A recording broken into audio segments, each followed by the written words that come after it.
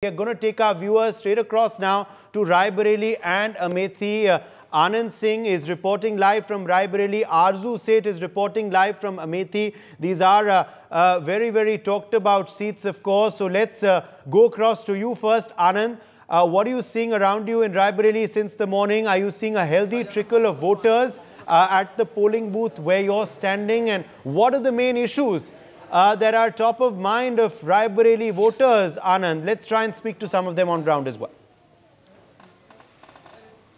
Yeah, uh, on the ground since morning, people are, have been coming to the polling booth over here and they are casting their vote and exercising their right for this 2024 Lok Sabha elections. As Raebareli is one of the crucial uh, hot seats of this uh, uh, state of Uttar Pradesh. So people over here are very energetic and they are also saying that they are going to vote for development and they are going to vote for employment. These are the issues that they said and we will try to speak as we can show you over here. There is a means healthy uh, crowd over here of voters and they are standing in queue waiting for their turn to go into the polling booth and cast their votes. So we'll try to speak to some of the people over here and try to understand what are the issues that they are going to vote for. Uh, sir, आपका नाम जय Talreja sir uh, आज चुनाव है तो क्या मुद्दे हैं जब आप जा रहे हैं पोलिंग बूथ के अंदर तो किस तरह की चीज़ें हैं आप सीधे आप जानना चाह रहे होंगे कि किस पे वोट देना चाह रहे मुद्दे क्या है मुद्दों से ही तो आप जज करोगे ना। नहीं सर ऐसा नहीं मैं भाजपा को वोट देने जा रहा हूँ। अच्छा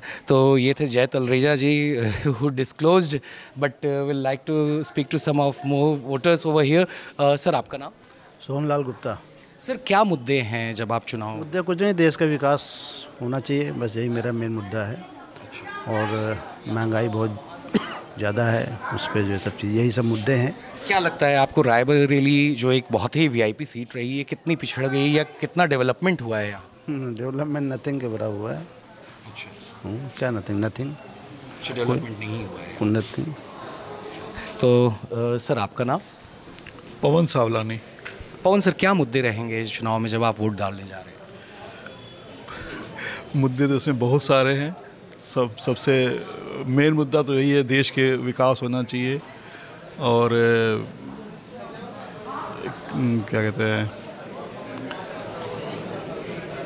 देश के ही मुद्दे हैं सुरक्षा वीआईपी सीट रही है वीआईपी वीआईपी सीट रही है लेकिन इसका कोई हम लोगों को लाभ मिला नहीं है कभी भी। इंदिरा जी के ज़माने में जब कभी था तो था। अब तो हम लोगों को एकदम मतलब लावारिस छोड़ दिया गया है। बने रहिए आप हमारे संग आनंद। For more such videos, subscribe to the NewsX YouTube channel, hit the bell icon.